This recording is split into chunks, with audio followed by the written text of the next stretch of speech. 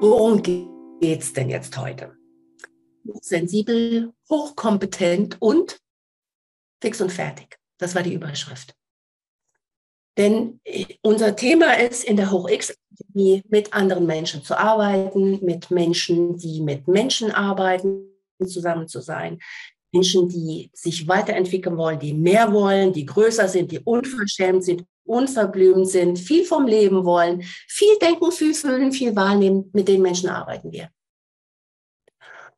Und was leider sehr, sehr häufig und eigentlich naturgegeben passiert ist, dass diese Menschen ausbrennen. Ich möchte behaupten, dass ungefähr die Hälfte bis äh, sogar 70 Prozent aller Menschen, mit denen ich in den letzten fünf Jahren gearbeitet habe im Rahmen der HOREX-Ausbildungsprogramme, weil mache ja kein Einzelcoaching mehr, äh, Burnout-Erfahrung haben. Oder andere Formen des Boah, Handbremse. Was kann das sein?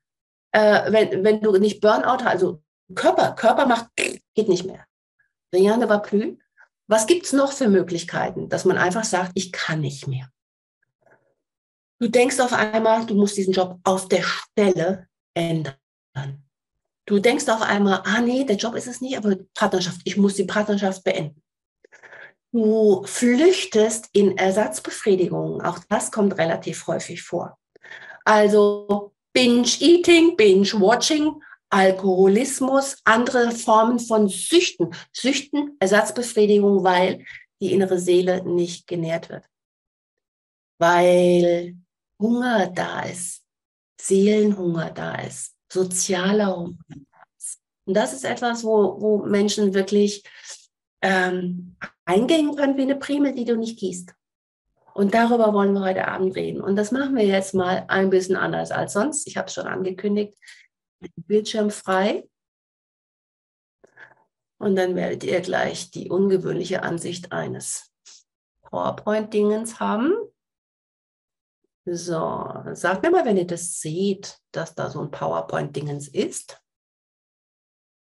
Schreibt es kurz. Ja, wunderbar, danke. Ja, scheint zu funktionieren. Okay. Was ich jetzt aber auch mache, wir haben jetzt gleich Viertel nach. Jetzt, jetzt bin ich ja nicht mehr pingelig.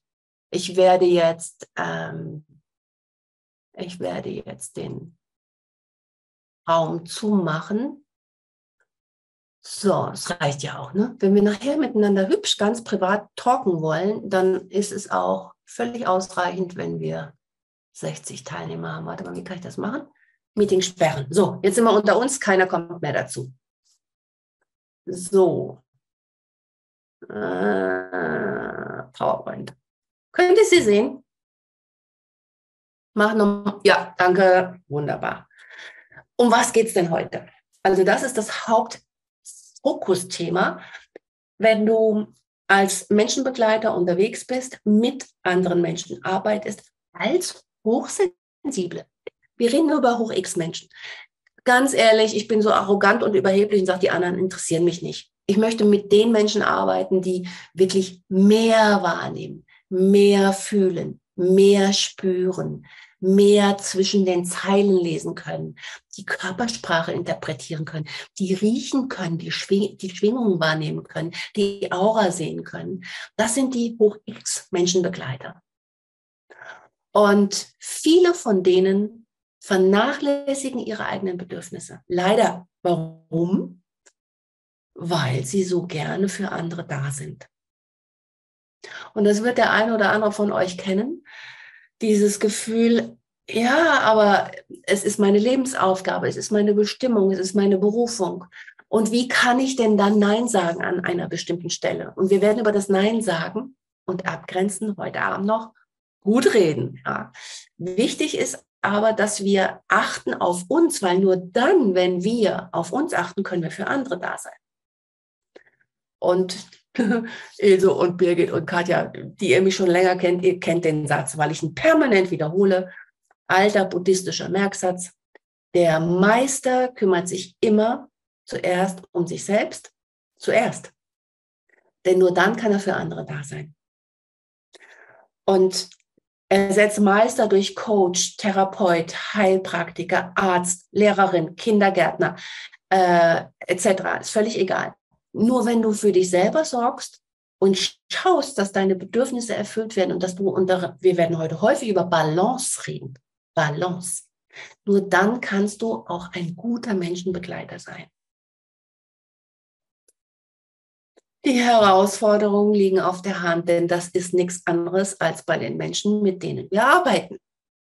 Ne, die Hochsensiblen, die Hochsensitiven, ich erkläre auch gleich noch den Unterschied, die leiden häufig unter Reizüberflutung, Stressanforderungen, Rückzugsbedürfnis.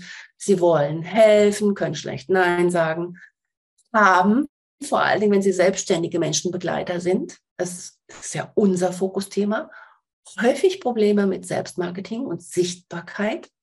Also wie kann ich so sichtbar sein, dass ich ein profitables Business auch leben kann, mit all dem geben wollen, helfen wollen, unterstützen wollen.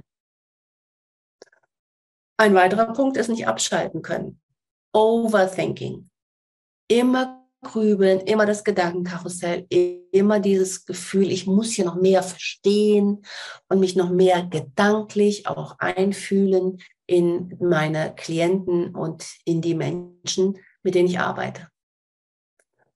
Und ein weiterer Punkt, da gehe ich, sehr ausführlich darauf ein, ist die Balance zwischen Geben und Nehmen. Und ihr seht hier an dem Bild, das ist ein, ein Jonglieren mit Bällen, die, die, die, die Tante da, die hat drei in der Hand. Ne? Wir sehen hier sieben und das ist ja noch nicht alles.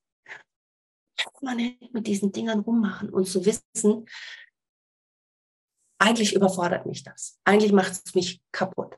Äh, wer von euch kennt denn das? Lasst mich das mal ganz kurz im Chat wissen, ob ihr das, äh, ob ihr das wirklich gut ja, mhm. ich sehe schon.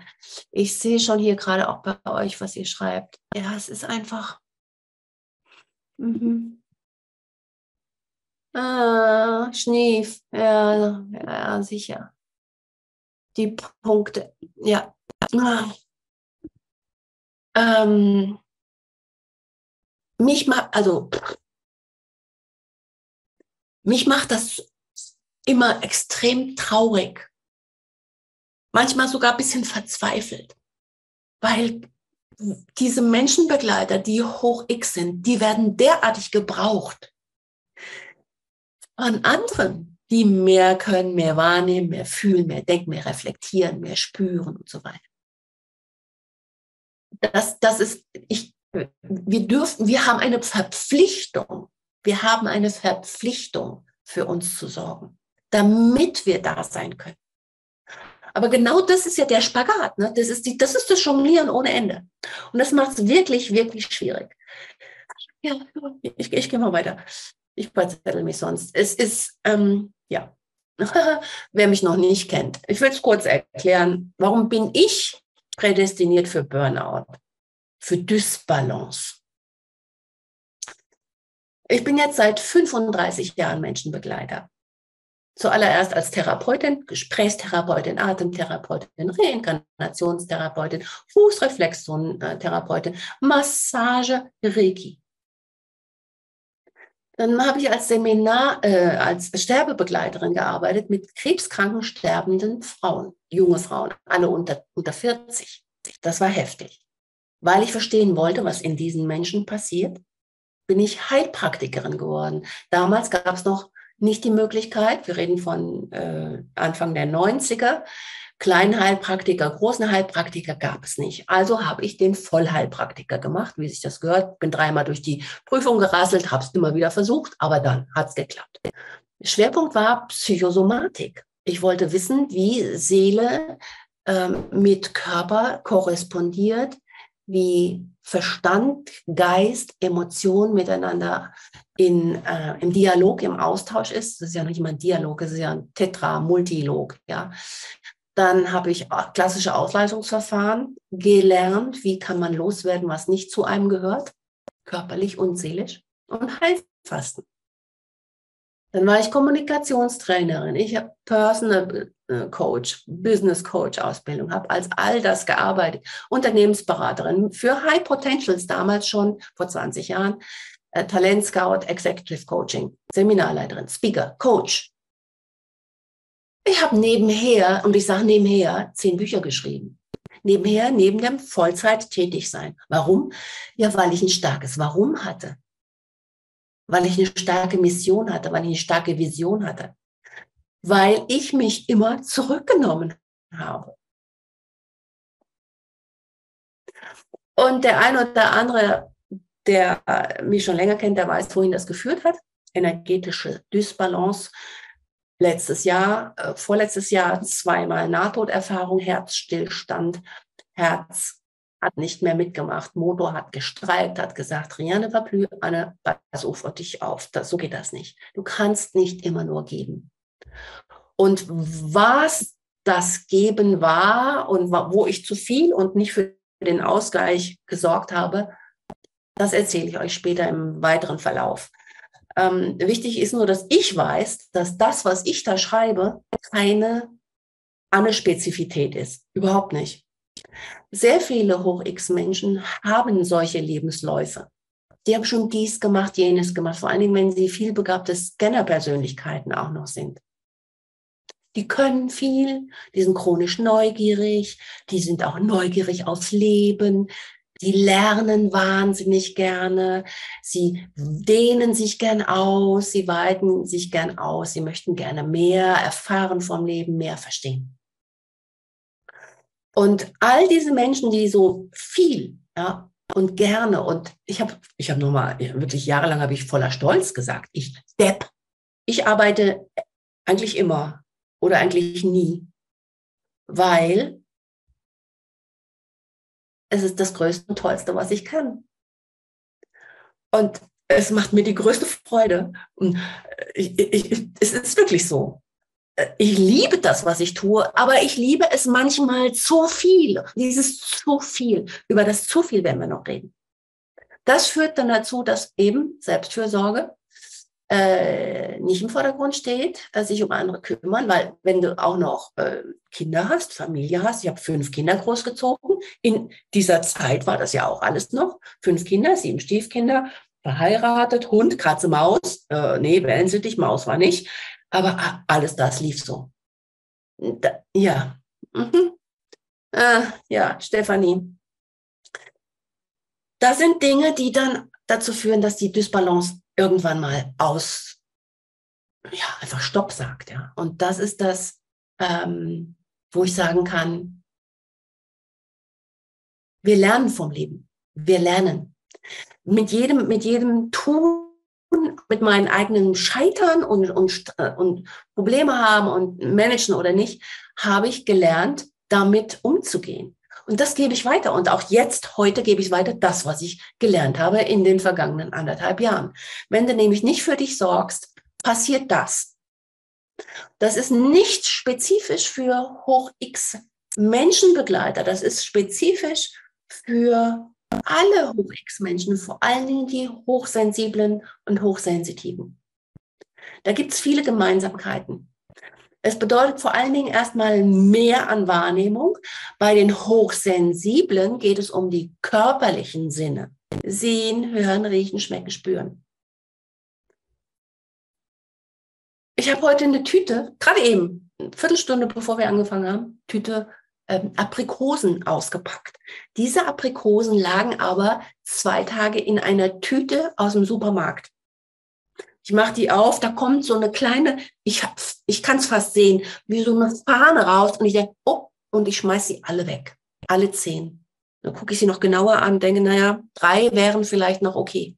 Aber schon dieser, da, da kommt ein Geruch an und ich muss das nicht anfassen, ja. Und ich meine, weg damit, ja. Oder neulich, letzte Woche, äh, war ich essen in einem Restaurant. Da gab es so ein ganz kleines Schüsselchen, so ein, so ein Dip. Und ich denke, der Dip hat fünf Minuten zu lange in der Sonne gestanden. Ne, wenn etwas zu warm ist, ihr, ihr, ich sehe schon, wie ihr nickt. Ich, das Schöne ist, ich sehe euch, ihr, ihr seht euch nicht, aber ich sehe euch, wenn ihr die Kamera anhabt. Und das ist eben dieses mehr wahrnehmen, mehr spüren im körperlichen Bereich. Das kann auch sein, äh, irgendwelche Shampoos, Waschmittel. Ähm, das können Nahrungsmittel sein, auch beim Essen und so weiter und so fort. Ähm, bei den Hochsensitiven, da geht es um die emotionale und soziale Kompetenz. Beim Howard Gardner, der die multiple Intelligenzformen beschrieben hat, geht es um die intrapersonelle und die interpersonelle Intelligenz. Intra, also das, was ich in mir habe, das spüre ich, das nehme ich wahr. Damit versuche ich umzugehen. Das lerne ich zu managen, zu handeln, äh, Selbstfürsorge, liebevoll mit mir umzugehen. Und interpersonelle Intelligenz ist die, die zwischen uns stattfindet. Die Interaktion, der Dialog. Da spürst du als hochsensitiver Mensch, ob du belogen wirst oder ob ein Mensch in dich verliebt ist oder ob er Angst hat. Das kannst du riechen. Sehr viele hochsensible Menschen können das auch riechen tatsächlich. Oder eine meiner Töchter, 20 Jahre in der Arztpraxis gearbeitet, die riecht, wenn ein Mensch todkrank ist. Das Dumme ist, das riecht die aber nicht nur in der Arztpraxis. Das riecht es auch, wenn sie beim Rewe in der Schlange steht und ähm, wartet an der Kasse. Nicht so gut. Ja. Und nun haben wir die gelösten ähm, Fähigkeiten und die ungelösten. Wenn du noch nicht wirklich gelernt hast, mit diesen Gaben als Hoch-X-Mensch umzugehen, dann kann das positive oder negative Auswirkungen haben. Und diese Auswirkungen haben etwas damit zu tun, wie wir mit unseren Klienten umgehen können oder mit den Menschen, um die wir uns kümmern. Ein Menschenbegleiter ist auch eine Mutter. Ein Menschenbegleiter ist auch ähm, ein Vortragender, ein Lehrer, ein Arzt. Was passiert, wenn Hoch-X Persönlichkeitsmerkmale bei Hochsensiblen ähm, ge gelebt oder nicht gelebt werden. Ja, es gibt immer hier so eine, auch hier Pendelbewegung, Ausgleich. Ne, die einen ziehen sich ins Schneckenhaus zurück und die anderen werden unruhig, überaktiv, angespannt wie ein Flitzebogen. Flitzebogen kennt ihr vielleicht. Ne? Die einen gehen dann ganz viel nach innen und wollen gar nicht mehr raus ich bin so eine. Und die anderen, die sind die ganze Zeit im Außen und wollen es anderen recht machen, sich anpassen und Anerkennung kommen und all sowas. Dann gibt es Menschen, die sich permanent glauben, schützen zu müssen. Was passiert, wenn ich glaube, mich immer schützen zu müssen? Hm? Dann bin ich auch ähm, dabei, mich zu überfordern und andere äh, zu überfordern. Und dann gibt es auch die Menschen, die zwischen diesen Extremen hin und her schwanken, je nach Energielevel oder Temperament auch, Charaktermerkmal. Ja, genau. Du auch, Birgit? Ja, eben genau.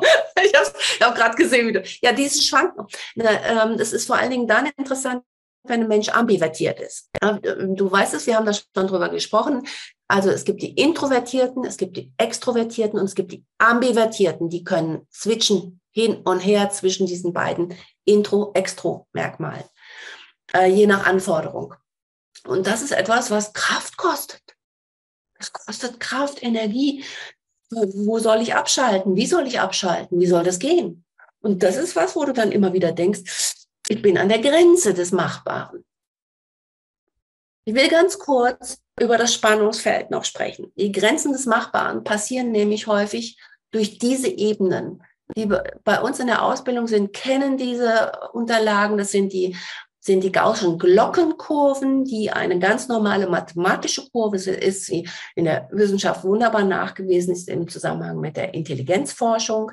Hier haben wir die kognitive Intelligenz, also das, was im normalen Intelligenztest gemessen wird. Ihr kennt das hier, das ist diese Kurve. Ne? Hier haben wir die Hochbegabten. Ja? Hochbegabt.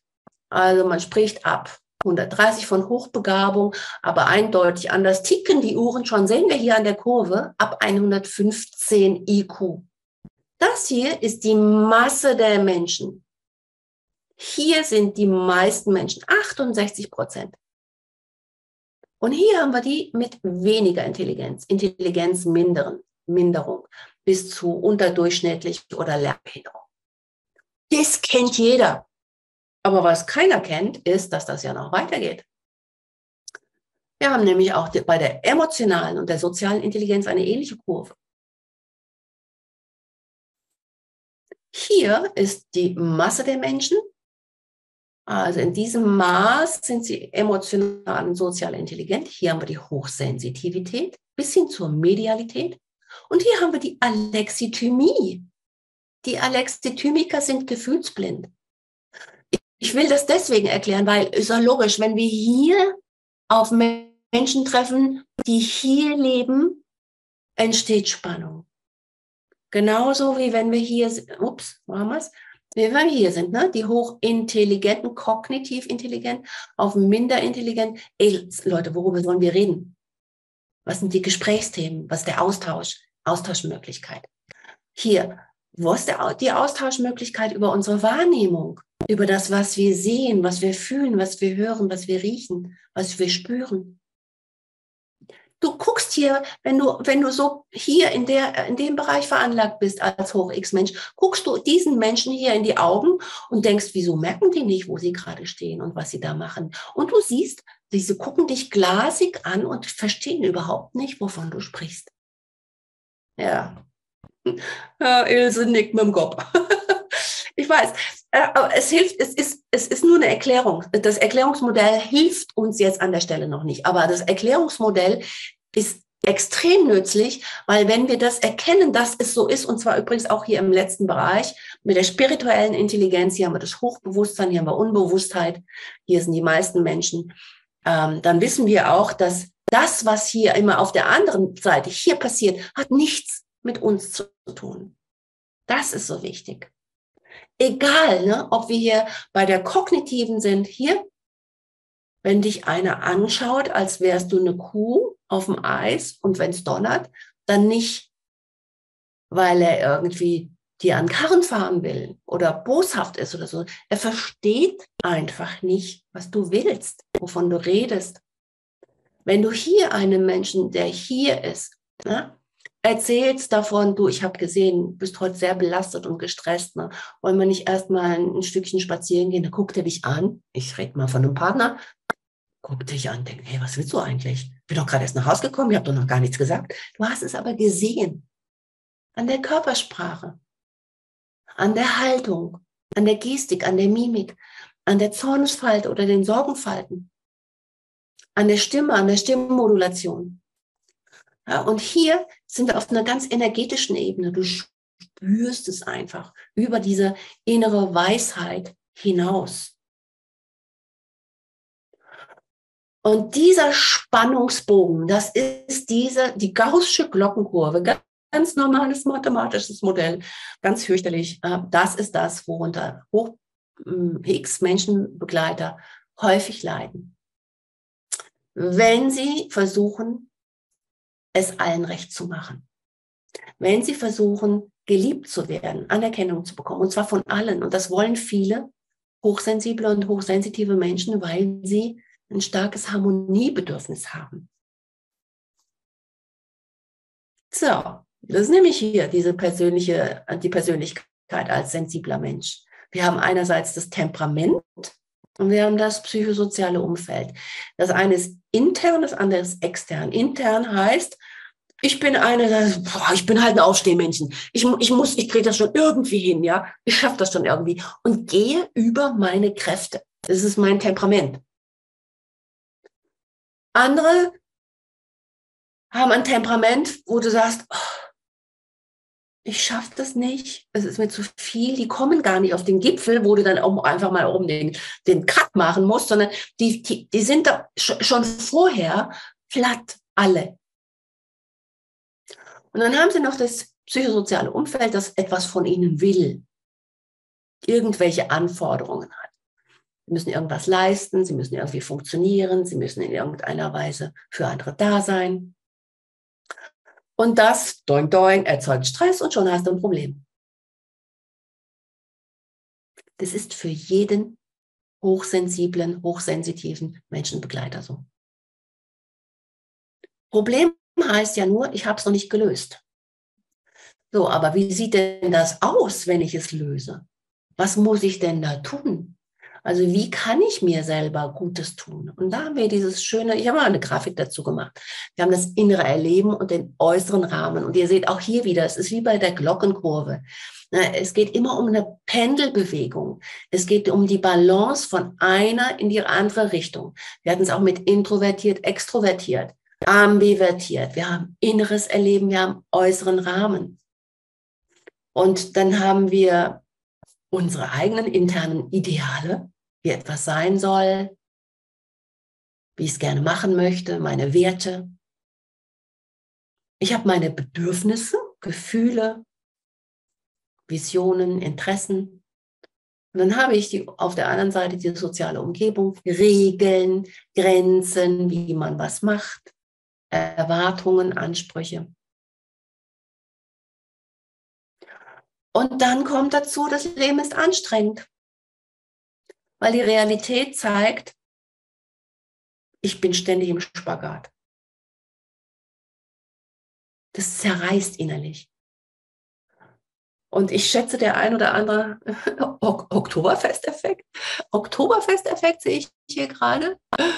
Äh, interessant. Den kenne ich noch nicht, den Begriff. Habe ich wieder was gelernt. Mhm. Ja, das ist das, was die Spannung erzeugt. Das ist das, was die Energie kostet, was müde macht, was in irgendeiner Weise erschöpft. Und Erschöpfung gibt es ja mental, emotional, sozial und auch intellektuell. Nicht vergessen. Und wenn es zu doll wird, wird es emotionales Burnout, intellektuelles Burnout, soziales Burnout oder kognitives Burnout. Und gerade Hoch-X-Menschenbegleiter leiden sehr häufig genau darunter. Lass uns weitergehen.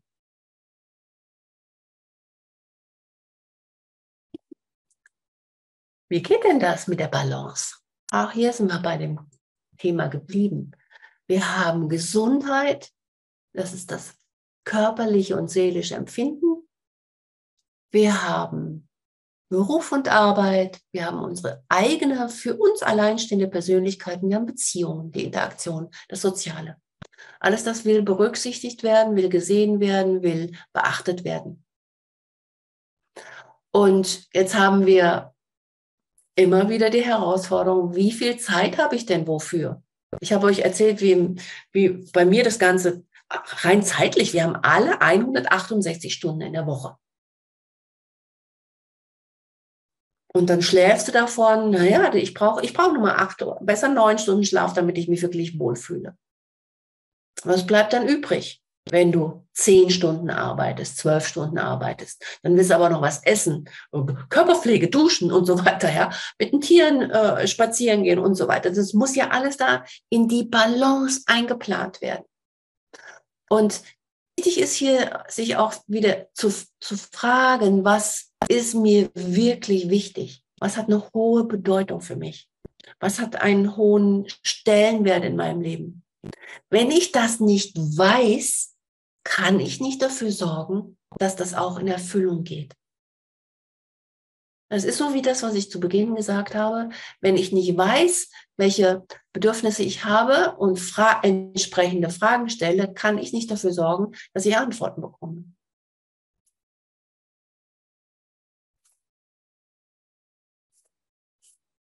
So, dann haben wir das Thema wollen, können, dürfen. Was heißt denn das? Das bedeutet, dass die meisten Menschen sind immer wieder dabei, dass sie denken, sie müssen sich mehr können aneignen. Das ist extrem weit verbreitet. Können, Qualifikation, Leistung, Kompetenz, Fähigkeit. Wer kennt das? Habe schon das eine oder andere Nicken gesehen. Ja. Ne? Können, können, können. Ja, aber hm, die Frage ist, gebe ich mir selber die Erlaubnis? Das sind wir beim Dürfen. Darf ich das? Und äh, gerade diejenigen von euch, die bei uns in der Ausbildung sind, entweder zum HoRX Coach oder HoRX Master Coach, die kennen das. Es geht zentral darum, dass wir uns selbst die Erlaubnis geben, Selbstverantwortung, dass wir Erfolg haben dürfen. Und zwar mit dem, was wir besonders lieben, was wir besonders gut können, wo uns das Herz aufgeht, wo wir morgens aus dem Bett hüpfen und sagen, wow, geil ist die Welt, der Mensch kommt heute als Klient zu mir. Und ganz viele Hoch-X-Menschen haben aber diesen komischen Glaubenssatz in sich, wenn ich das furchtbar gerne mache und es eigentlich mein Lebensglück ist, das machen zu können, kann ich doch kein Geld dafür nehmen. Und wenn schon Geld, naja, okay, dann aber nicht so viel. Und ich möchte ja auch für die sozial Bedürftigen da sein, für die alleinerziehenden Mütter, für die Studenten, für die Schüler, für die Rentner, für und so weiter. Wir kommen noch drauf, äh, was das zu tun hat mit, mit beruflichem Erfolg und Karriere als Hoch-X-Mensch. Denn dieser Anspruch auch, ist ein weiterer Spagat. Wir sind schon wieder bei dem Thema Dysbalance.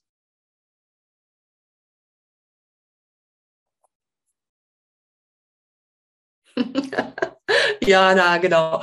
Können hätte ich schon gewollt, nur dürfen habe ich mich nicht getraut. Mm. Ja, ich weiß, jeder Personalchef ist zertifikatesüchtig bei der Auswahl der Bewerber. Das stimmt. Es gibt tatsächlich Branchen und ähm, Bereiche, wo das extrem wichtig ist. Wir sind aber nun hier bei dem Thema Menschenbegleiter. Und unser Fokus ist ja, wisst ihr, äh, Coaches, Therapeuten, Berater, Heilpraktiker, psychologische Berater, und ähm, ich kann es nur oft genug sagen und ich schwöre, es ist mir noch nicht ein einziges Mal passiert, noch kein einziges Mal, dass irgendein Klient von mir ein Zertifikat, ein Zertifikat ähm, ein Nachweis, ein Ausbildungszertifikat oder sowas haben wollte. Noch nicht einmal. Die einzigen Situationen, wo das passiert ist, äh, war, als ich im Unternehmensberatungskontext tätig war und im Coachpool von großen Konzernen oder Firmen war. Um als im, im Coachpool aufgenommen zu werden, das war damals war so eine Geschichte mit High Potentials und, und Talent Scouting, äh, ähm, Telekom und was war es noch? SAP. Äh, da musst du alle Zeugnisse und Referenzen und so weiter einreichen. Sonst interessiert es keinen, wirklich nicht. Da kommt es darauf an, auf, das, auf den Bereich dürfen. Gibst du dir selbst die Erlaubnis? Hast du dir selber gesagt, ich kann das können? Und dann kommt tatsächlich etwas, was die allermeisten wirklich vergessen, ist das Thema, ich entscheide mich, das dann auch zu machen. Und das hat sehr viel mit Mindset zu tun wie erfolgreich du dann bist oder wie erfolglos du dir erlaubst zu sein. Ja, ich kann das nicht anders sagen, hat immer was, es ist ausschließlich mit uns. Es gibt kein Ja, aber die anderen. Ich erzähle euch eine Geschichte aus dem narrativen Coaching. Da hat ein Mann in Amerika einen Würstelstand. Und da hat ein Würstelstand, ihr kennt diese Hotdog-Dinger, ja. Und ähm, dann sagt er, oh, läuft gut, ich mach mal noch, mach mal noch einen auf und ich stelle mir jemanden ein, der dann die Würstel da verkauft. Und läuft auch ganz gut. Nach, nach ein paar Wochen hat er gesagt, ach komm, ich mach mal noch, ich mach mal noch einen auf. Und, und so hat er vier oder fünf Würstelstände. Und dann kam sein Sohn zu ihm und hat gesagt, Papa, wie kannst du nur, wir haben eine Rezession. Und wir sollten überhaupt nicht expandieren. Der Business und Wirtschaft geht runter. Und daraufhin hat der, der Papa gesagt, oh Gott, ich wollte noch fünf weitere Würstelstände eröffnen was hat er gemacht? Er hat die, die ersten, die, äh, nur den ersten behalten und die anderen hat er alle gekündigt, aufgegeben. Und hat dann zu seinem Sohn gesagt, du hattest recht. Es ist ja doch nicht wirklich gut gewesen, dass ich mich ausgeweitet und expandiert habe. Wenn der seinen Zehnten eröffnet hätte und niemand hätte ihm gesagt, Mindset, oh, wir haben eine Rezession, wäre er weiter erfolgreich gewesen. Jo, dürfen. Jetzt kommen wir auf ein ganz, ganz, ganz fieses Thema. Ist geben seliger denn nehmen? Gibt ja so schöne deutsche Sprichwörter. Ne? Geben ist seliger denn nehmen. Und leider ist das eine der größten, ich kann es gar nicht anders sagen, Erfolgsfallen bei hochsensiblen Menschen, die so gerne geben, die so gerne helfen, die andere Menschen so gerne unterstützen, die soziale Gene haben, innen drin, in ihren Mitochondrien sitzt das drin. Und da gibt es aber tatsächlich äh, wunderschöne Untersuchungen, dass die hochsensiblen Menschen, die so gerne geben und schenken, ähm, auch eine eingebaute Erfolgsbremse haben. Wie kommt das? Adam Grant, der eine oder andere hat vielleicht schon von ihm gehört. Adam Grant war ein ähm, Professor, Harvard-Professor, Organisationspsychologie, der hat untersucht, und zwar große Studien, 30.000 Menschen und Unternehmen, was macht die einen erfolgreich, was macht die anderen erfolglos? Was, und, was unterscheidet die eine Gruppe von der anderen Gruppe? Und er hat was ganz Tolles gefunden. Es gibt nämlich genau drei Menschentypen, die in dem zwischenmenschlichen Austausch, in der Interaktion deutlich zu unterscheiden sind. Das sind die Geber, das sind die Nehmer und das sind die Tauscher. Die Geber sind immer grundsätzlich bereit, andere zu unterstützen. Die Nehmer unterstützen andere nur, wenn sie glauben, dass sie was zurückbekommen oder wenn sie vorher schon mal was bekommen haben und sie dann eben zurückzahlen müssen. Sie haben auch überhaupt kein Problem damit, erst einmal was zu nehmen und die Geber, die wollen eigentlich immer erstmal geben. Und die Tauscher sind die mit dem fairen Handel.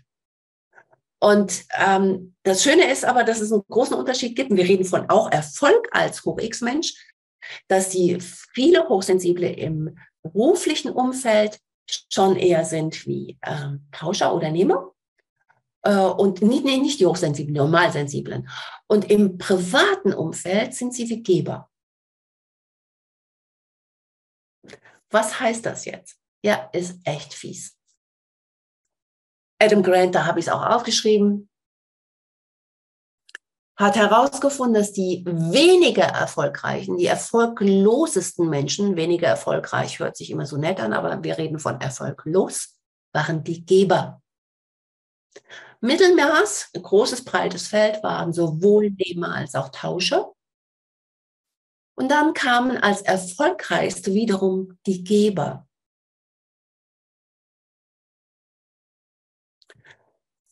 Und du ist die Frage natürlich, wieso wird, wird ein Geber einerseits möglicherweise besonders erfolglos und die andere auf der anderen Seite besonders erfolgreich? Und die erfolglosen Menschenbegleiter waren deswegen so erfolglos, weil sie Opfer wurden. Sie neigen dazu, sich ausnutzen zu lassen.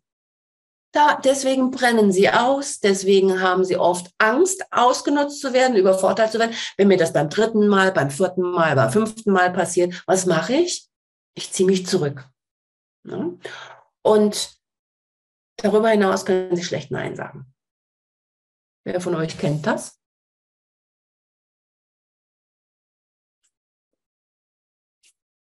Grund 1, Grund 2, Grund, Grund 3. Schreibt mal rein. Aha. Ja, ich sehe auch, ihr habt die Hand, Hand gehoben. Sehr schön. Ja. Ähm, ich, bin, ich bin einer von den, von den Vierern, muss ich wirklich sagen. Also, das ist, ja, genau. Stefanie. Zwei ausbrennen. Mhm. Ja. Ah, das kann übrigens, das ist häufig, zwei ist im Unternehmenskontext häufig der Fall. Du siehst ein Problem, du siehst auch die Lösung, du würdest gerne helfen, du bist für andere da, du machst Verbesserungsvorschläge, aber es kommt nichts dabei heraus. Keiner will es hören. Keiner ist in der Lage, es umzusetzen. Und die Effektivität ist am Arsch. Das heißt, du hast das Gefühl, gegen Windmühlenflügel, Don Quixote, ja, das ist ermüdend ohne Ende. Das kommt leider in großen Konzernen. Je größer, umso häufiger kommt das vor oder wenn irgendwelche politischen Strukturen im Hintergrund tätig sind oder aktiv sind, ähm, da kann das der Grund zwei besonders ermüdend sein. Ist einer der häufigsten Gründe übrigens, warum sich dann eben Hoch-X-Menschen auch selbstständig machen. Und warum sind die erfolgreicher, die Hoch-X-Menschen?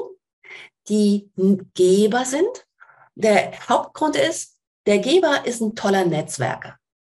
Der spricht gern mit anderen, der gibt gerne weiter, der macht gern ähm, Informationsweitergabe, der vernetzt andere Menschen. Ach du, du, was weiß ich, du hast gerade ein Kind mit drei Jahren. Äh, ich kenne da eine Frau, die hat auch ein Kind mit vier Jahren, aber ihr könnt mal Klamottentausch machen, ja. So, ich kenne das von meiner Tochter zum Beispiel.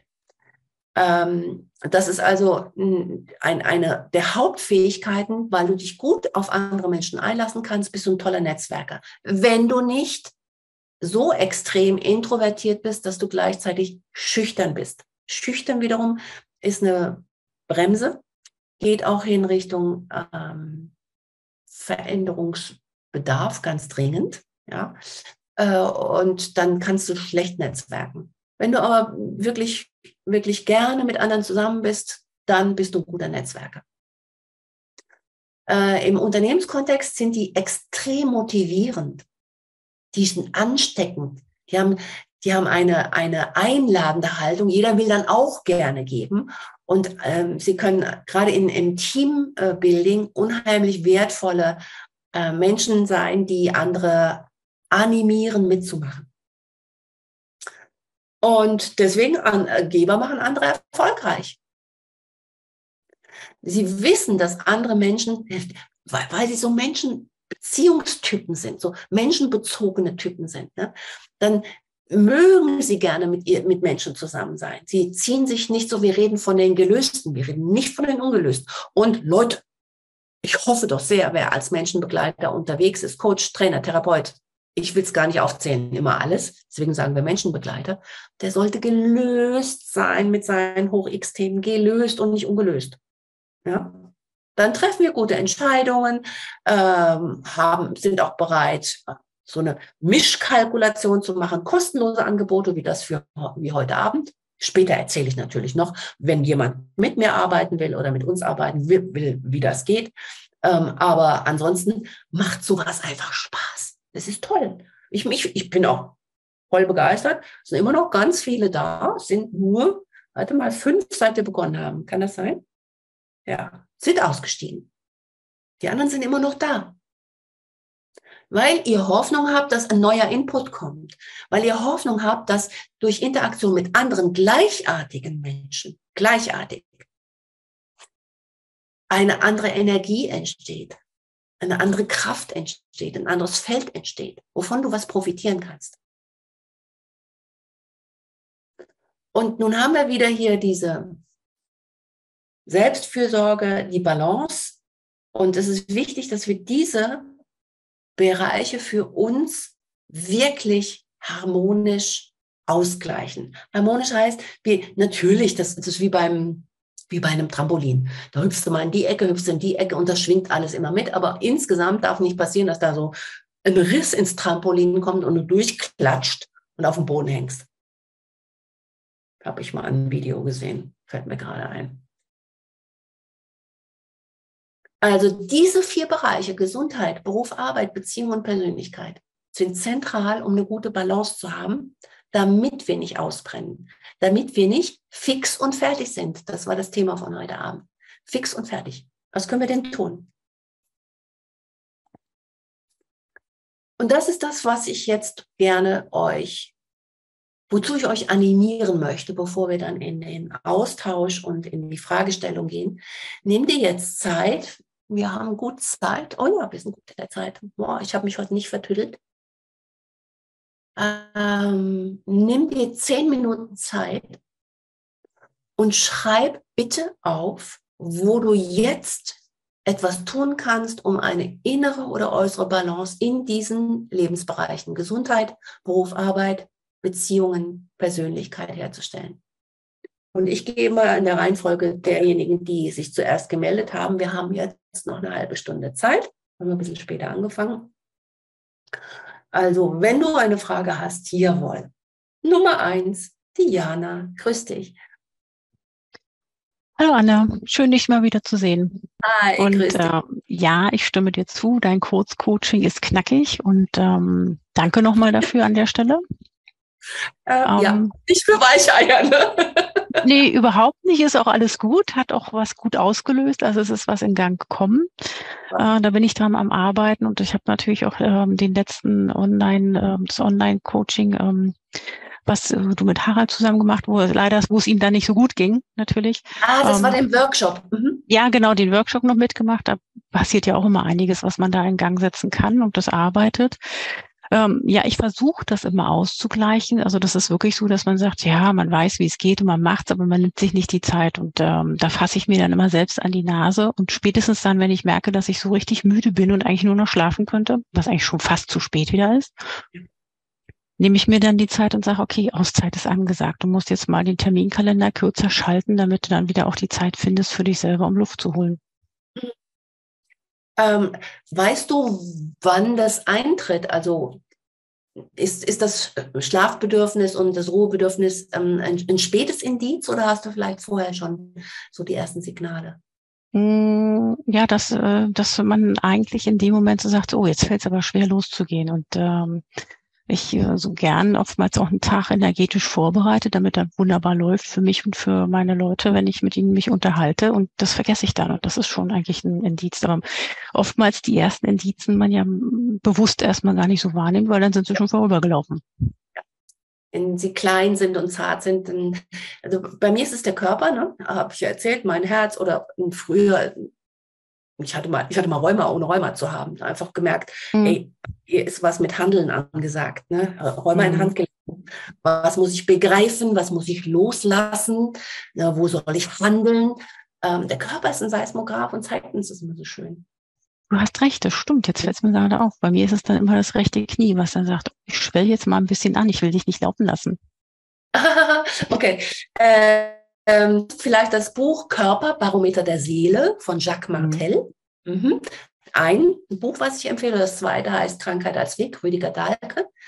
Äh, mhm. sind Lexika, du kannst einfach Knie. Guck unter Knie. Dann guck unter Knieschmerzen, dann Innen- oder Außenbänderriss oder sowas. Und kannst du gucken, was ist das für ein seelischer Ausdruck? Und kannst mhm. genau schauen, übrigens auch sehr hilfreich für Menschenbegleiter, das Buch, ich habe es jetzt hinter, hinter dem Ding da, ähm, habe ich immer griffbereit, wenn mir einer in der Lebensgeschichte, in der Biografiearbeit erzählt, was er für wiederkehrende oder chronische Krankheiten hat, dann gucke ich immer nach, was kann denn da stehen.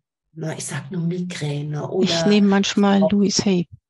Ja, Louis Hay ist auch wunderbar. Ganz toll. Super. Mhm. Ja. Mhm. ja. Das auf jeden Fall. Wie hast du es für dich zum ersten Mal festgestellt oder ähm, auch an der körperlichen? Wie ist es jetzt bewusst geworden? Wirklich krass ist diese Geschichte, die ich gerade erzählt habe mit, dem, mit, dem, mit den Handgelenken. Also, mhm. äh, also das war so schlimm, dass ich, ich konnte keinen Rückwärtsgang im Auto einlegen und Hundeleine, Ohr und Schlüssel im Schloss drehen, ganz schwierig. Und meine Tochter, die bei, äh, beim Arzt arbeitet, die Arzthelferin, sagte irgendwann, Mama, ich mache jetzt einen Termin. Bah, mhm. ja, als ich heulend einen Telefonhörer in der Hand hatte, werde ich nie vergessen. Und dann bin ich zu dem Arzt gegangen und hat er gesagt, ja, ja, das sieht aus wie Rheuma. Geschwollen, also Rötung, Schwellung, Schmerz, ne, ist immer geschwollen und rot und Schmerz. Und die Rheumafaktoren im Blut waren null, waren nicht mhm. da.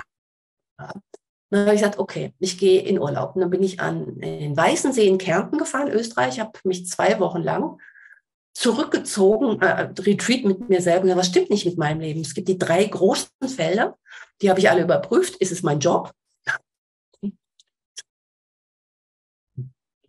Ort, wie ich lebe. Ist die Partnerschaft? Ups, ja. Und dann fiel mir ein, das und das und das und das und hier einen faulen Kompromiss und und da einen faulen Kompromiss und da ähm, ausgenutzt werden. Ähm, mhm. Also, äh, also ich will das nicht erzählen, nur glaubt nicht, wie blöd ich gewesen bin. Wirklich, die denkt, ey, die Heinz hat sie nicht mehr alle. Ja. Geht einer mit meiner Kreditkarte einkaufen und sagt, ich habe sie verloren. Ja, und solche Geschichten. Also auf jeden Fall denke ich, na, mit der Partnerschaft muss vorbei sein. Ich gehe nach Hause, die Partnerschaft ist vorbei und innerhalb von vier Wochen waren meine Handgelenke schmerzlos. Hm. Das war im Sommer, Juli.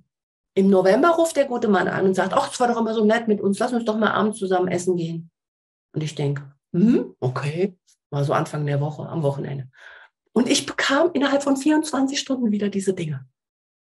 Woraufhin ich den Termin abgesagt habe und ich habe ihn nie wieder gesehen. Das ist mein das Beste, ist, was man. Ja, mein mhm. Körper ist wirklich, der sagt es ganz genau. Der sagt es ganz genau. Wenn ich äh, zum Overthinking neige, weil da oben das, das Karussell passiert es immer, zwischen drei und vier Uhr nachts werde ich wach.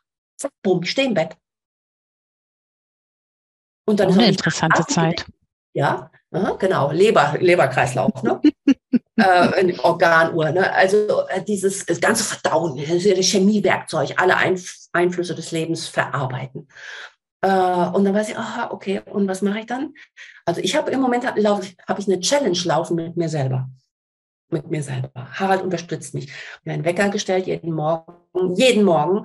Und ich will sie, will sie mindestens 30 Tage und zwar ohne Ausnahme. Das ist das Problem. Ohne Ausnahme durchhalten. Weil das kennt jeder von euch. Ja, heute, ach Gott, ich bin ja schon seit drei Uhr wach oder seit vier, dann kann ich nicht um halb acht. Bei mir ist es Meditieren und Sport, beides. Und zwar entweder zusammen oder also hintereinander oder abwechselnd. Einen Tag so, einen Tag so. Und jetzt habe ich diese 30-Tages-Challenge und habe und zwar ohne Ausnahme. Es gibt keine Ausnahme. Finito. Wir, aber wir haben doch Seminar und wir fliegen nach Deutschland. Na und? Da gibt es ein Hotel. Aber wir haben doch das nicht. Na und? Machst du trotzdem? Weil die, ihr kennt das, die Ausreden von wegen, weil man heute nicht dieses kann oder nicht jenes kann. Das gibt es auch beim, im Zusammenhang mit Essgewohnheiten. Glutenfrei. Ich weiß, glutenfrei ist das Beste für mich. Aber Brot schmeckt so gut. Und so weiter und so fort. Also dieses, wo, wo sage ich mir, ich darf und wo sage ich mir, zum Wohle von was, lass es bleiben und bleib. Übrigens, Selbstdisziplin ist auch noch so ein Codewort. Ne? Ich bin nicht selbstdiszipliniert, wenn es um mich geht. Wenn es um Arbeit geht, ich sag euch, ich ein Buch nach dem anderen, ich könnte jedes Jahr ein Buch schreiben. Arbeit ist für mich keine Selbstdisziplin. Das schüttle ich aus dem Arm. Ich liebe das. Aber mich um mich kümmern, wir sind genau beim Thema. Lebensbalance. Ist echt schwierig. Ja, danke für den Impuls, Jana. Das Thema Körper äh, sagt euch, was Sache ist. Ja, Andrea, du hast auch die Hand gehoben. Ja, also ähm, ich ähm, kann ähm, sagen jetzt, ähm, ich habe viele Antworten gekriegt, jetzt soeben. Ähm, ich kann zum Beispiel den Tag nicht loslassen. Es ist so prickelnd, so interessant und ich könnte so viel und ich habe schon so viel äh, gemacht und und und äh, die Ideen springen aus mir raus und ich mache Notizen und und, und, und hab tausend Heftchen und, und schreib sie voll und ähm, alles ist so, so extrem cool und, und, und ich weiß, wie ich die Dinge verbinden kann und der Tag ist einfach nicht lang genug, aber ich äh, krieg Probleme mit meinem Einschlafritual. Ich bräuchte einen Vorschlaghammer. Ganz ehrlich, weil die Lichter müssen irgendwann ausgehen und, und ich könnte äh, schreien, weil ich habe das Gefühl, ähm, ich bin so zerrissen irgendwie so. Ich habe einen Tipp für dich. Lass mich mal ganz kurz hier, äh, äh, lass mich ganz kurz gucken. Und zwar hat mir das tatsächlich eine Trainee in der Ausbildung erzählt. Ähm, und zwar gibt es eine Möglichkeit, es ist ein, ein Neurotransmitter, den du nehmen kannst vorm Einschlafen. Ist ein, Nahrungsergänzungsmittel. Ja. Ich mache mach sonst keine Werbung. Ähm, Begriffe sind nicht ganz unbekannt. Gut, super. Ja, GABA. GABA. Kennst du GABA? GABA, GABA äh, Buttersäure, das ist eine proteinogene Aminosäure mhm. und ein Neurotransmitter, der normalerweise in der Bauchspeicheldrüse und im Gehirn gebildet wird, wirkt beruhigend und sorgt dafür, dass man besser einschlaft. Super. Also, kann, Kannst du auch online bestellen. nicht machen, aber. GABA. Nee, nee, nee, nee, hat mit Butter nichts zu tun. Das heißt nur, mal GABA. GABA, äh, einfach googeln, google mal. Und diese, diese Dinge sollen, ohne, die machen nicht süchtig, die sind keine chemischen Keulen und all das, sondern einfach ähm, eine Möglichkeit, um sich zu entspannen. Du könntest aber auch einen Hopfen oder einen Baldrian oder ein Johannes Ich nehme das alles schon. Okay. Das ist nämlich genau meine Verzweiflung, dass ich ich, ich dufte nach Natur. und es äh, benebelt mich kurz und irgendwann springt mein Hirn wieder an. Ja. Ich bin, ich bin müde und, und mein Kopf ist äh, wieder bei diesen Abenteuern. Das oh ja, okay. Das ist das typische Overthinking-Thema. Ne? Overthinking, die, das Gedankenkarussell, die psychologische Rumination, von der hast du ja mhm. schon mal warst ja schon bei uns im Workshop. Ja. Ähm, das ist eben etwas, wo, wo man nicht mit, mit solchen Mitteln drankommt, denn es muss, eigentlich muss es eine Verhaltensänderung sein. Ja. Und die, die Verhaltensänderung, die hat nichts mit dem Denken zu tun, sondern das ist, das ist ein, ein Prozess, der geht über ein paar Wochen, zwei, drei, vier Monate, äh, wo du dranbleiben musst, wieder mit der Selbstdisziplin. Und jetzt kommt noch etwas dazu. Möglicherweise, möglicherweise hilft dir am meisten jetzt in der Phase die komplette Akzeptanz. Die Akzeptanz der Tatsache, dass es jetzt im Moment gerade mal so ist ja, ja ich lasse es laufen. Wie, wie, viel, wie, viel, wie viel Stunden Schlaf bekommst du? Sieben. Ach, das ist doch toll.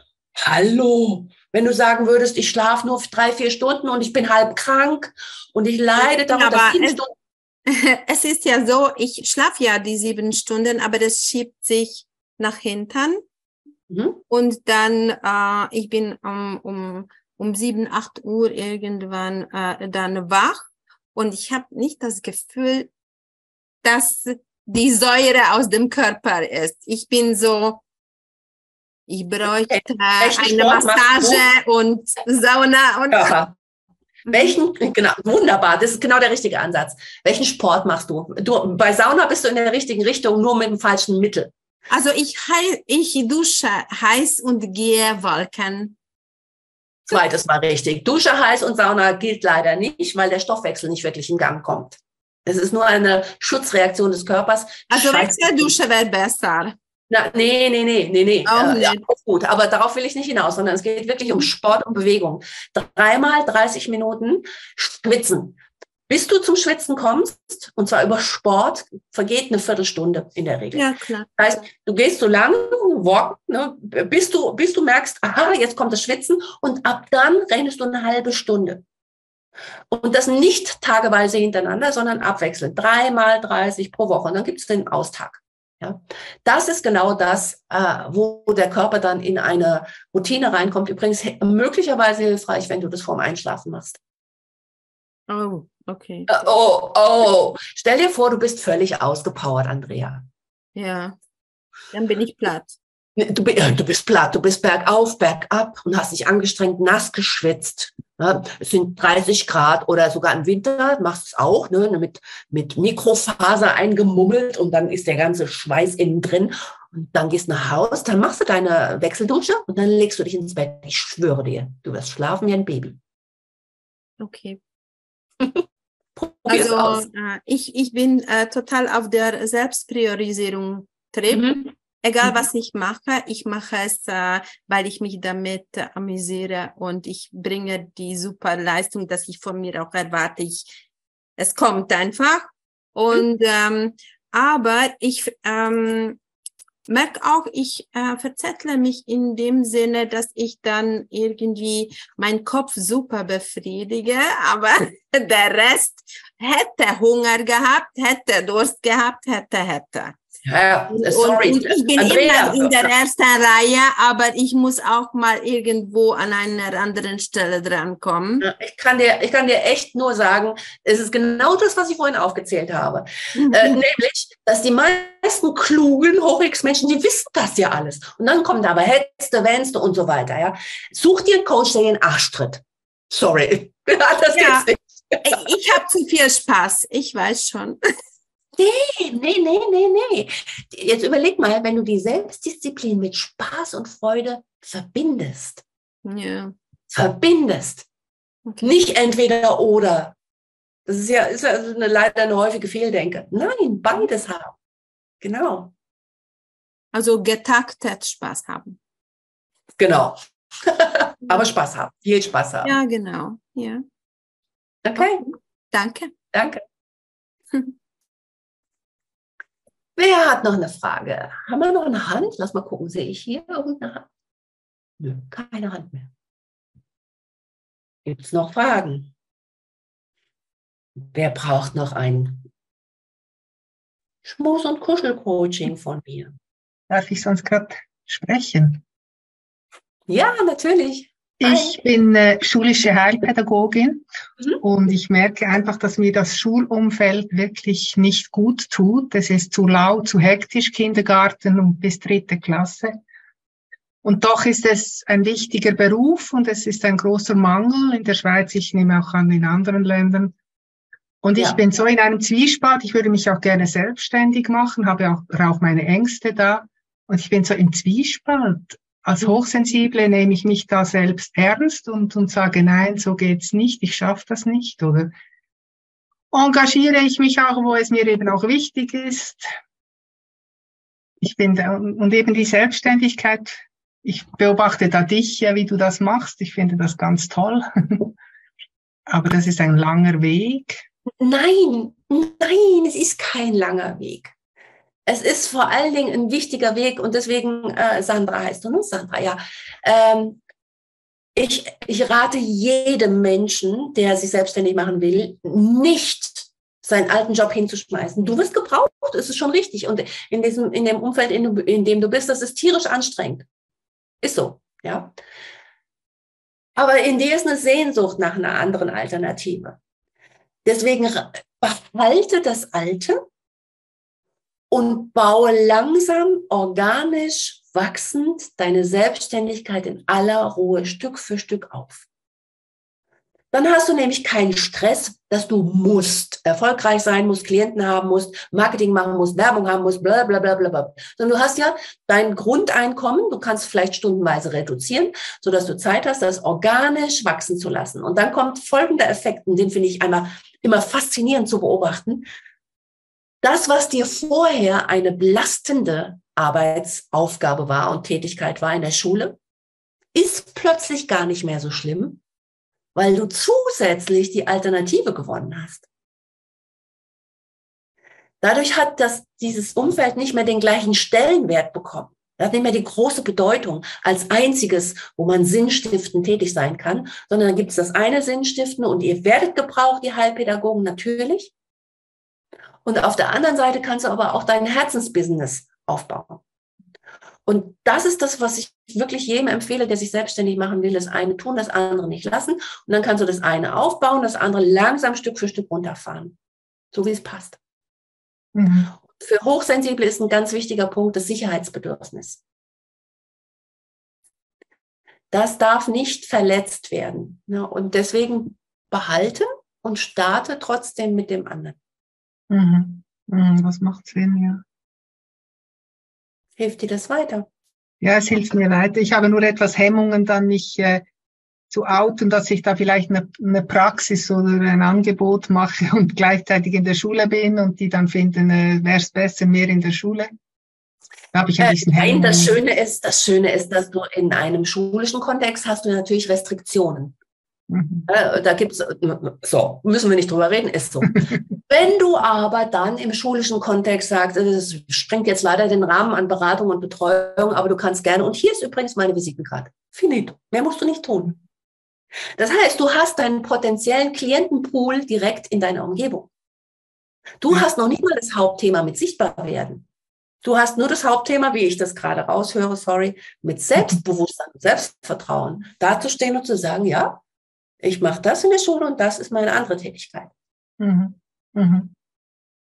Das ja, ist im, im, im, kostenlosen, freien, sozialen Rahmen, ehrenamtlich oder eben von der Schule bezahlt oder im Amt, egal. Und das ist das für Leute, die tiefer gehen wollen, die weitergehen wollen, die extra Service haben, was innerhalb vom schulischen Kontext einfach nicht geleistet werden kann. Ja, mhm. ist gut.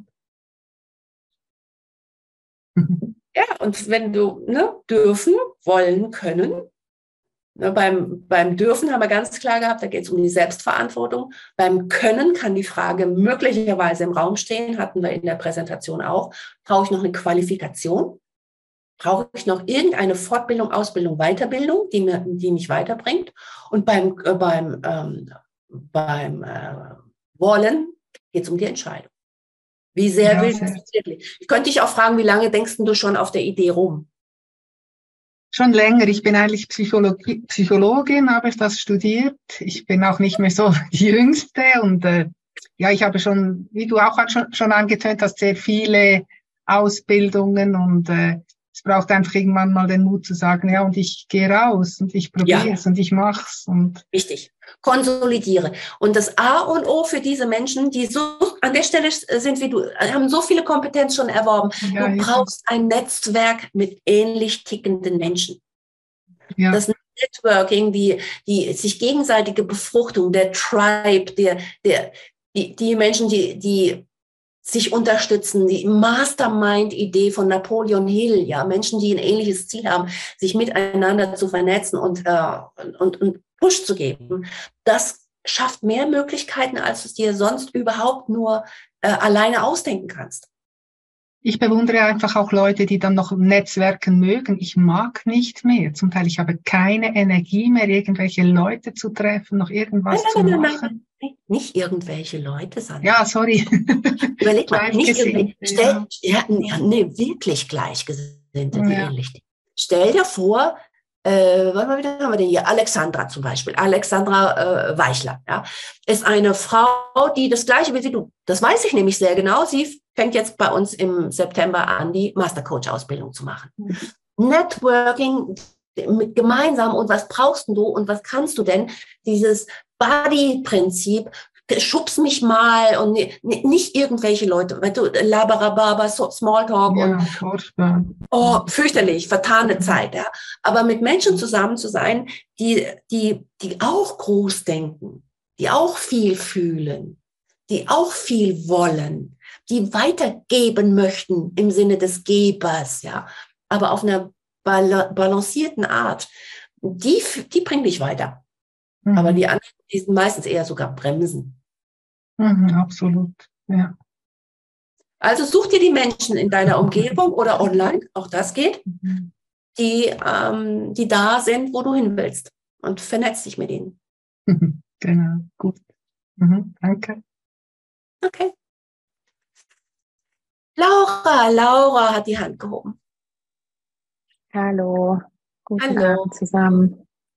Ähm, wie machst du das, beziehungsweise vielleicht auch andere, die mit Menschen schon arbeiten, ähm, dass ihr, wenn man so viel spürt und wahrnimmt, dass das vom Gegenüber seins oder ihrs bleibt und meins meins. Also nicht im Sinne von, ich projiziere meine Themen auf mein Gegenüber, sondern diese ganzen Energien und so weiter, dass das da bleibt und ich bei mir bleibe, beziehungsweise das vielleicht auch nicht in Gänze wieder mitnehme, ne, wenn dann der Mensch sich verabschiedet. Weil das ist so ein bisschen, ich glaube, noch ein Thema von mir, was mich auch bis jetzt noch nicht hat den Schritt gehen lassen, mit Menschen zu arbeiten, obwohl ich weiß, ich könnte wahnsinnig viel geben oder mhm. helfen oder begleiten. Ähm, aber ich auch weiß, ich habe wirklich Respekt davor, mich da an der Stelle nicht so abgrenzen zu können, dass es mir weiter gut geht. Verstehst du, was ich meine? Ja, hundertprozentig verstehe ich das. Das ist der Unterschied zwischen professionellem Arbeiten und mhm. Leiden. Ja. Ich muss es wirklich so sagen. Ja. Als Profi hast du einen Lotus-Effekt. Das ist ein Profi. Der hat einen Lotus-Effekt. Weißt du, wie wenn du deine Nanoversiegelung auf dein Auto mhm. wachsen lässt und du gehst durch die Waschanlage und du wirst nass. Natürlich wirst du nass im Gespräch mit deinem Klienten. Du weinst auch ja, mal mit. Ja, so, ja. Aber es perlt an dir ab, weil du merkst, du bist nur ein Spiegel. Mhm. Du bist ein Spiegel, eine, eine und möglichst klare Fläche, wo der Mensch sich sieht. Und weil du so mit ihm bist, wie du bist, mit diesen Fähigkeiten, kann der sich ja entfalten. Du, du schaffst dadurch ein Feld, wo sich andere Menschen erfahren trauen, ermutigt fühlen, sich die Erlaubnis geben, so zu sein, wie sie sind. Und Deswegen darfst du auf keinen Fall die Stacheldrahtmentalität, es gibt ja ganz viele so, so Tools und Methoden, wo du als Hochsensibler dich abgrenzen. Ja? Mein Tanzbereich, dein Tanzbereich. Sehr richtig und wichtig. In der Arbeit mit anderen Menschen ist es das durchfließen lassen. durchfließen lassen mhm. oder abperlen lassen. Einer meiner wichtigsten Lehrer, Koray Peter Stemmern, ein Zen-Meister, hat mal gesagt, was kümmert es die Marmorsäule, wenn die Jauche auf sie spritzt? Mhm. Jauche perlt einfach nur ab. Ja? Menschen kommen nicht zu dir in irgendeine Form von Beratung, weil sie glücklich sind und zufrieden und happy. Mhm. Ja, genau. kommen nur, weil sie Leid haben. Die sind auch mhm. nur bereit, viel Zeit und Energie und Geld zu investieren, wenn sie einen hohen Leidensdruck haben. Und was deine Aufgabe ist, den Leidensdruck, ist ja immer die gleiche Geschichte, es ist immer der gleiche Mensch. Ne? Schauen, wo ist das Glas halb voll, wo ist halb leer. Reframing.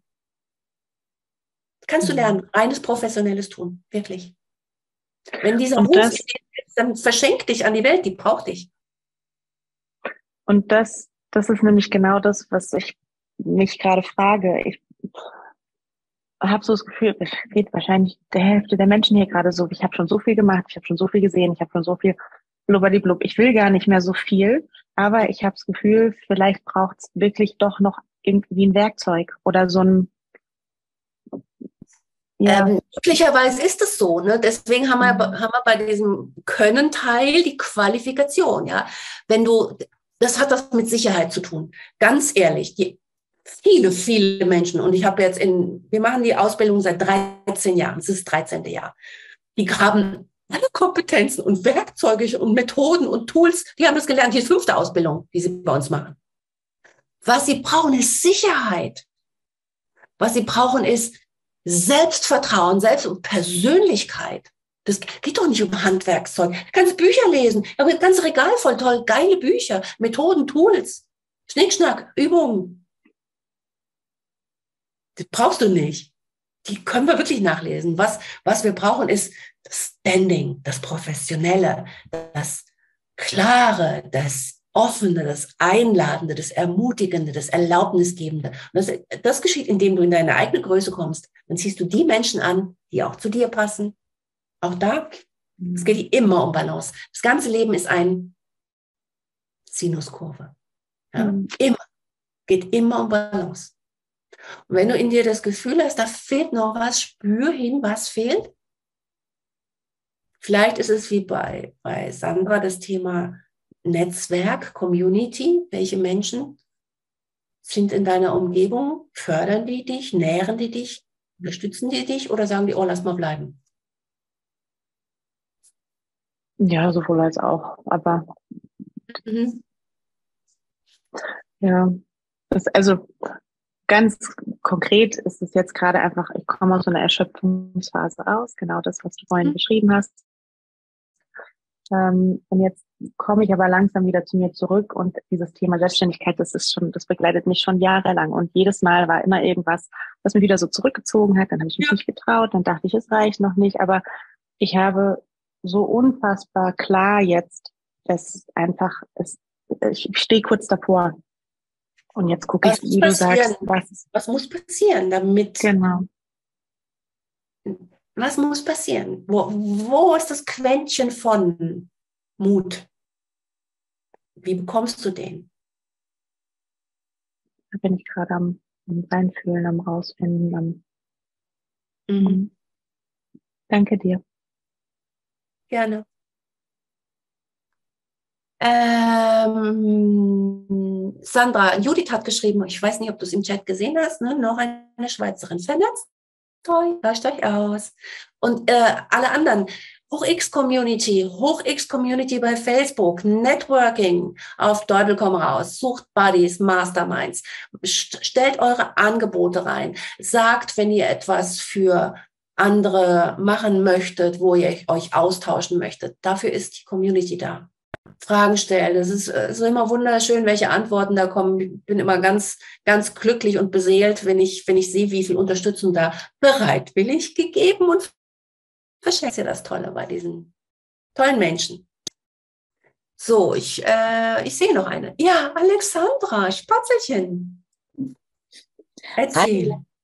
Ja, weil, ähm, weil ich jetzt gerade den beiden ähm, letzten, also Sandra und Laura, zugehört habe ich bin ja äh, noch nicht lange in der Hoch-X-Community, war aber sehr begeistert.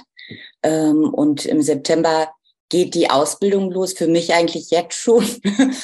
Ähm, und wenn jemand äh, was mit Ausbrennen zu tun hat, dann bin ich das wirklich. So gerade äh, 14, 18 Stunden äh, Feuer und Flamme für irgendwas und äh, dann passt nichts mehr rein. Das lernt man. Äh, was ich allerdings äh, wirklich toll finde in der Community, ich habe zwei Buddies. Ähm, ich habe ein, ja, ich habe einmal äh, einen Buddy, der mit mir einmal die Woche im Pomodore-Prinzip die Internetseite erstellt. Also ich bin jetzt, da bin ich sehr gut aufgehoben. Also Pomodore heißt so scheibchenweise an was arbeiten. Das ist nicht unbedingt mein Stil. Ich drücke gleich die ganze Tomate durch und das lerne ich gerade ganz liebevoll. Und dann äh, ist der andere Buddy hier auch äh, heute online, die Andrea.